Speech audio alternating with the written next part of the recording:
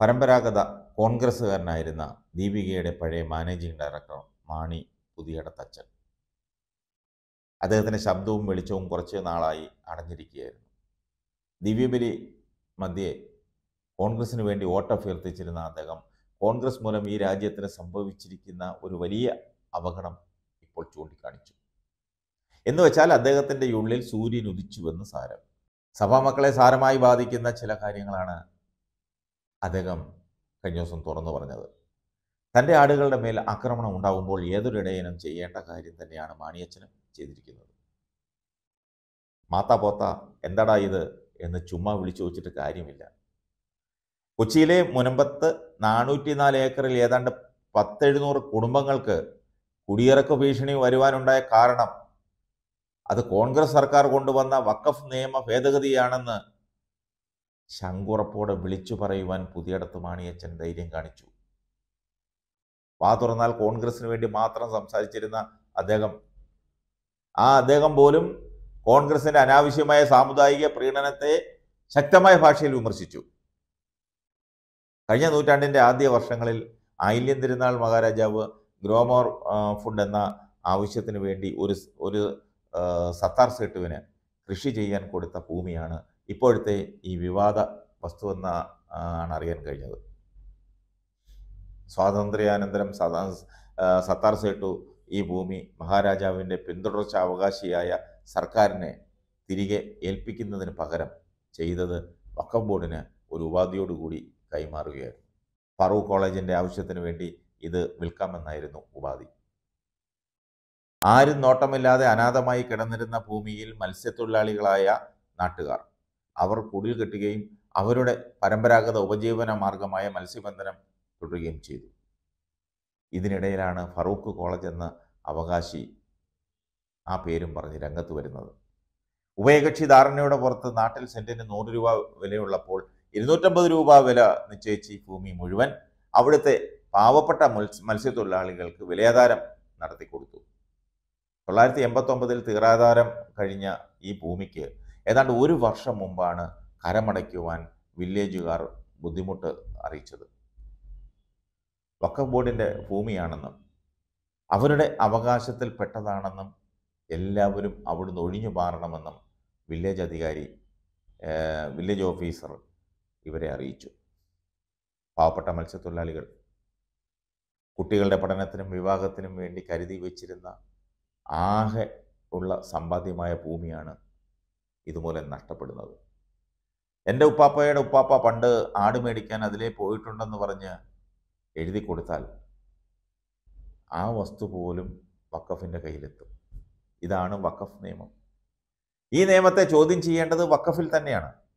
ഇതിൽ വക്കഫിനെ കുറ്റം പറഞ്ഞിട്ട് കാര്യമില്ല. ഈ നിയമം ഉണ്ടാക്കിയ കോൺഗ്രസ്സുകാരാണ് ഇതിലെ യഥാർത്ഥ കുറ്റക്കാർ. വോട്ട് ബാങ്ക് രാഷ്ട്രീയത്തിന് വേണ്ടി മത തീവ്രവാദികളെ സുഖിപ്പിക്കുവാൻ അവരുടെ നിർദ്ദേശമനുസരിച്ച് നിയമം രൂപപ്പെടുത്തുന്നവരാണ് യഥാർത്ഥ കുറ്റവാളികളെന്ന് വിളിച്ചു പറയുവാൻ മാണിയച്ചൻ കാണിച്ച തന്റെ ഇടം. ഇവിടുത്തെ മതമേലധ്യക്ഷന്മാർ കാണാതെ പോകരുത്. പ്രത്യേകിച്ച് കത്തോലിക്ക സഭയുടെ സമത്വസുന്ദര ഭാരതത്തിൽ ഒരു സമുദായത്തിന് ഏകപക്ഷീയമായി കാര്യങ്ങൾ നിയന്ത്രിക്കുവാനുള്ള അവകാശം. അത് തീറെഴുതി കൊടുത്ത കോൺഗ്രസ്സുകാരോട് ഞങ്ങളും ഇവിടെയൊക്കെ ഉണ്ട് എന്ന് പറയാനുള്ള ധൈര്യം ഇവിടുത്തെ ക്രൈസ്തവ നേതൃത്വം കാണിക്കണം. ഭർത്താവിന്റെ സീറ്റിൽ ഭാര്യ അമ്മയുടെ സീറ്റിൽ മകൻ മകന്റെ സീറ്റിൽ പെങ്ങൾ. ഈ നിലയിൽ മുന്നോട്ട് പോകുന്ന കോൺഗ്രസ് ആ പാർട്ടിയിൽ ജനാധിപത്യത്തെ പറ്റി സംസാരിച്ചാൽ ആർക്ക് മനസ്സിലാകും. റബ്ബറിന് ഇരുന്നൂറ്റി അൻപത് രൂപ വില നൽകിയാൽ ബി ജെ പിക്ക് വോട്ട് നൽകാം എന്ന് വാഗ്ദാനം ചെയ്ത മെത്രാൻ ഉൾപ്പെടെ മുഴുവൻ പിതാക്കന്മാരും നാളിതുവരെ ചുമന്നുകൊണ്ട് നടന്ന കോൺഗ്രസ്സുകാർ നിങ്ങളോട് ചെയ്ത ചതി തുറന്നു ചോദിക്കാൻ നിങ്ങൾ മടിക്കരുത്. കേരള നിയമസഭയിലെ മുഴുവൻ പേരും വഖഫ് നിയമ ഭേദഗതിയെ എതിർത്തുകൊണ്ട് പ്രമേയം പാസാക്കി അയച്ചത് ഗൗരവത്തോടെ കാണണം. നിങ്ങൾക്ക് ധൈര്യമുണ്ടോ? അതിനൊരു മറുപടിയായിട്ടെങ്കിലും ഇപ്പോൾ നടക്കുന്ന ഉപതെരഞ്ഞെടുപ്പുകളെ ഫലപ്രദമായി പ്രതിഷേധിക്കാൻ.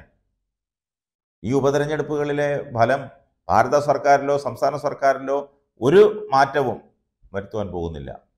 എങ്കിലും നിയമസഭയിൽ ഒന്നോ രണ്ടോ പേരെങ്കിലും നിങ്ങളുടെ ഭാഗം പറയുവാൻ ഉണ്ടാകുന്നത് നല്ലതല്ലേ? നിങ്ങൾ പ്രിയങ്ക ഗാന്ധിയോടും രാഹുൽ ഗാന്ധിയോടും പിണറായിയോടും ചോദിക്കണം. ഇവിടുത്തെ ബി ജെ പിക്കാരോട് ചോദിക്കണം. വഖഫ് നിയമങ്ങളിലെ ഭേദഗതിക്ക് അനുകൂലമായി നിൽക്കുവാൻ തയ്യാറാണോ എന്ന്.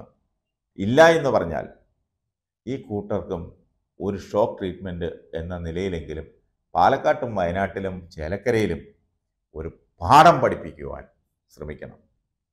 സേവ് മുനമ്പം എന്ന ബാനറും മുദ്രാവാക്യം പിടിച്ച് മുദ്രാവാക്യവും വിളിച്ച് പ്രിയങ്കയുടെ മുന്നിൽ ചെല്ലാനുള്ള ധൈര്യം നിങ്ങളിൽ ആർക്കെങ്കിലും ഉണ്ടോ? ഇതാണ് അതിനുള്ള സന്ദർഭം. ഇനി നിങ്ങൾക്ക് മറ്റൊരവസരം കിട്ടില്ല. ബി ജെ പിയോട് വലിയ ആഭിമുഖ്യം ഉണ്ടായിട്ടൊന്നും പറയുന്നതല്ല. സ്വാതന്ത്ര്യ സമരകാലത്തും തുടർന്നും കോൺഗ്രസ് പാരമ്പര്യമുള്ള കുടുംബത്തിൽ നിന്ന് തന്നെയാണ് ഞങ്ങളുമൊക്കെ വന്നത്. കോൺഗ്രസിനെതിരെ കോൺഗ്രസിനെയും കുറ്റം പറഞ്ഞിട്ട് കാര്യമില്ല. ഒരു ചോദ്യവും ചോദിക്കാതെ അന്തമായി തങ്ങളുടെ കൂടെ നിൽക്കുന്ന പൊട്ടന്മാർക്ക് വേണ്ടി സംസാരിക്കേണ്ട കാര്യം കോൺഗ്രസ്സുകാർക്കില്ല. പ്രത്യേകിച്ച് ലത്തീൻ സമൂഹം അത് ഒന്നടങ്കം കണ്ണടച്ച് അവർക്ക് വോട്ട് ചെയ്യുന്ന സാഹചര്യത്തിൽ. വയനാട് അതിർത്തി പങ്കെടുക്ക പങ്കിടുന്ന മാനന്തവാടി താമരശ്ശേരി രൂപതകളിലെ മെത്രാന്മാരും പാസ്റ്റൽ കൗൺസിൽ അംഗങ്ങളും ഒന്നിച്ചു പറയട്ടെ നേർച്ചക്കോഴികളാകാൻ ഇനി ഞങ്ങളെ കിട്ടില്ലെന്ന്. കൈവിരലിൽ എണ്ണാവുന്നവരെ ഉള്ളുവെങ്കിലും പാലക്കാട്ടെയും ചേലക്കരയിലെയും വിശ്വാസ സമൂഹവും ഇത് തന്നെ ഉറക്കെ നോട്ട എന്ന ബട്ടണും വോട്ടിംഗ് മെഷീനിലുണ്ടെന്ന് മനസ്സിലാക്കി കൊടുക്കണം. ചക്കപ്പഴത്തിൽ ഈച്ച പൊതിയുന്നത് പോലെ നസ്രാണികൾ. സോണിയയും മക്കളും വരുമ്പോൾ ഓടിക്കൂട്ടിയിട്ടും അവരോട് ഇത് തന്നെയാണല്ലോ കോൺഗ്രസ് ചെയ്യുന്നത്. പിണറായി വിജയന്റെ മുന്നിൽ വട്ടമിട്ട് നിന്നിട്ടും അവരോടും ചെയ്യുന്നത് ഇതൊക്കെയാണ്.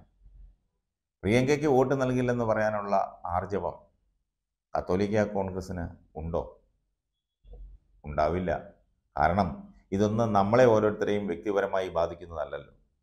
നമ്മുടെ കൂടെ ഉള്ളതിൽ പാവപ്പെട്ടവരായ ഒരു സമൂഹത്തെ ബാധിക്കുന്നത് നമ്മളെ കൂടി ബാധിക്കുന്നതാണെന്ന ചിന്ത നമ്മൾക്കാർക്കുമില്ല.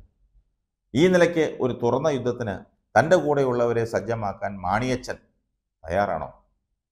അതോ വി ഡി സതീശനെ തന്റെ മുന്നിൽ കൊണ്ടുവന്നിരുത്തി നാല് ഡയലോഗ് പറയാനുള്ള താല്പര്യം മാത്രമേ ഉള്ളൂ. അത് തുറന്നു പറയുവാൻ മാണിയച്ചൻ ആർജവം കാണിക്കണം. സി എ നടപ്പിലാക്കിയപ്പോൾ പല അഭിപ്രായങ്ങളും പറഞ്ഞവരാണ് നമ്മൾ. എന്നാൽ അതിന്റെ ഗുണവശങ്ങളെപ്പറ്റി ചർച്ച ചെയ്യുവാൻ പോലും നമ്മൾ തയ്യാറായില്ല. അന്യരാജ്യത്ത് നിന്ന് എന്നുള്ള നുഴഞ്ഞുകയറ്റക്കാരെ ചാരന്മാരെ അവരെ കണ്ടുപിടിക്കാൻ ചെയ്യേണ്ട ഏറ്റവും ചെറിയ സംവിധാനമാണ് സി എ. ഇല്ല എങ്കിൽ അർമേനിയയിലും ലിസ്ബനിലും ഒക്കെ നടന്നത് ഈ ഭാരതത്തിലും നടക്കും. ക്രൈസ്തവ ഭൂരിപക്ഷമായിരുന്ന ആ രാജ്യങ്ങളിലെ ഇന്നത്തെ അവസ്ഥയൊന്ന് ആലോചിച്ച് നോക്ക്. റോം തുർക്കി പിടിച്ചടക്കുമെന്ന ബെനഡിക് മാർപ്പാപ്പയുടെ പ്രവചനം. ആ പ്രവചനം കാത്തു കഴിയുന്ന നിങ്ങൾക്ക് ചെയ്യാവുന്നത് വല്ലതുമുണ്ടെങ്കിൽ ചെയ്യുക. പിന്നീട് വിലപിച്ചിട്ട് കാര്യമില്ല. മാണി അച്ഛനോട് ഒരു കാര്യം തുറന്നു ചോദിക്കട്ടെ? വഖഫ് ബില്ല് ഭേദഗതി എതിർക്കുന്നവർക്ക് ഇത്തവണ വോട്ടില്ല എന്ന് പറയുവാനുള്ള ആർജവം മാണിയച്ഛനെങ്കിലും കാണിക്കുമോ?